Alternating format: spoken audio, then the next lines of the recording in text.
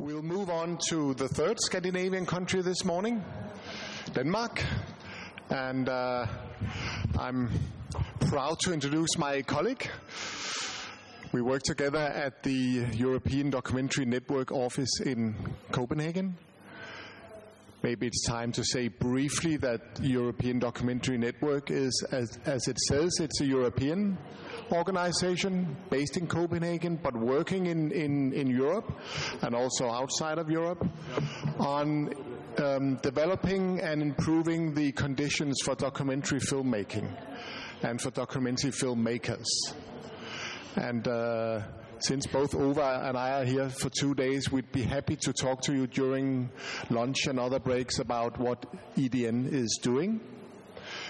But enough about that. Now we're going to another buzzword, over crowdfunding. Absolutely, yeah. So as as Mikael said, my name is Ove, and I work for EDN, European Documentary Network, and Mikael and me, together with our colleagues, are um, doing a lot of workshops and seminars, um, mainly in Europe, but also in the rest of the world. And um, I think one important thing for, for documentary filmmakers is is really to unite and get together in, on occasions like this, and to discuss and talk about the the future of, of our industry and, and how we work. And I think that's actually very important that you do so. And I think actually we should start um, before I talk anymore to give a warm hand to Ludmilla and Victor for setting up this this event today because it is really really important. So thank you very much for doing that, Victor and Ludmilla. So I've been asked to talk a little bit about crowdfunding um, because, as Mikael said, that has been really one of the buzzwords in in documentary filmmaking but I think also in, in other art forms. So, um, what I will talk about today, uh, the, my notion of, of, of crowdfunding, sorry, and what I will talk about is also how crowdfunding looked from the point of view of EDN, because what I did was that I asked some of our members. At EDN, we have around 1,000 members who are all active in the documentary industry and I talked to them and I asked them, you know, what is, what is your experience with, with crowdfunding? So I'll come back to that uh, a little later on when we go through some of the case studies um, to see uh, how it works. So what I'll talk you through the next 20 minutes or so is uh, a little bit about what crowdfunding is. Then I'll show you different platforms and how they work, just to get a concrete example of, of different opportunities out there. And then I'll run you through a couple of case studies towards the end just to, to give you a couple of, of hands-on examples of how people have worked with it and how it have functioned for a couple of, of documentary filmmakers. So the first thing um, that is, I think is very important to to uh, get a, to understand is that I know crowdfunding is a buzzword, and the first image you imagine to see around crowdfunding was not an old bearded man with a pipe, but actually crowdfunding is not something new. It's actually a very old phenomenon. And I think we all realize that. Going out and asking for donations, asking for money for your art is not something new. And this Danish guy, who is Asger Jorn, to me one of the most important contemporary artists in Denmark, he actually did crowdfunding back in 1936. At that time, he was 22 years old, a little uh, younger than on the picture here. Um, and he was, 20, as I said, 22 years old, and he wanted to go to Paris to study paintings.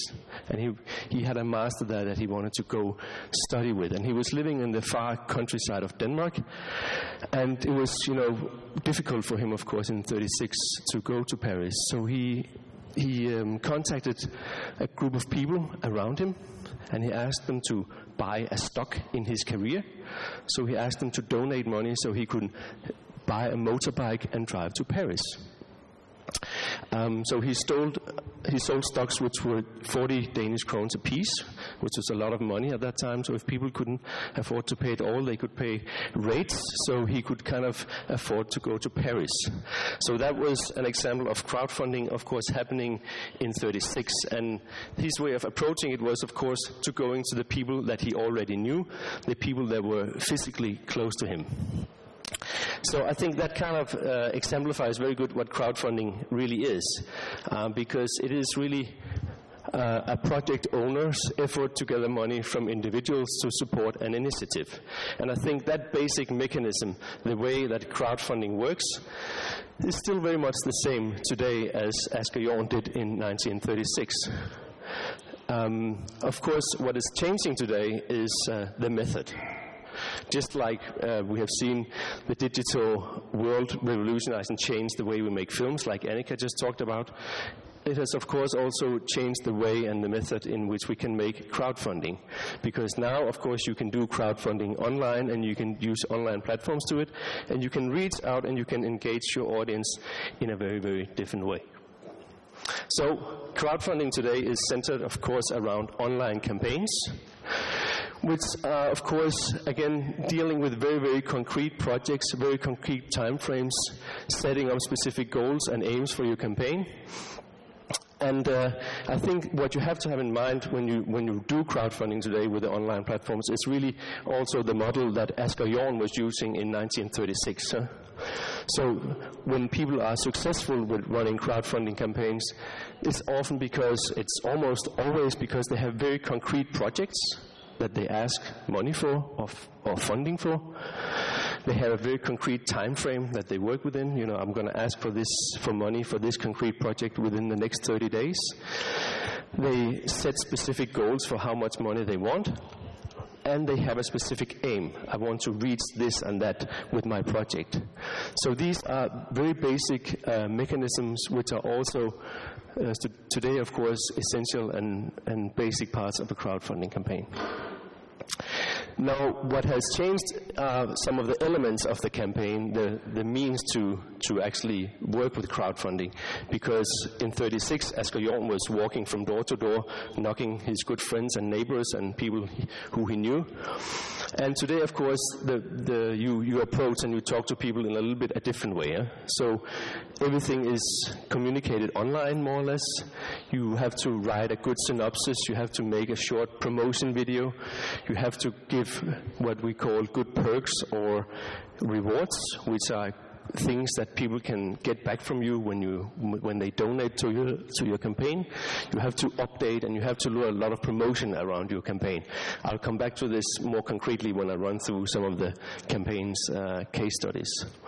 And then I have I think you have to be very um, precise in terms of what you are asking for, because there's all sometimes a misunderstanding between what is crowdfunding and what is crowdsourcing. So crowdfunding is when you go out and specifically ask for funding, for money for your project.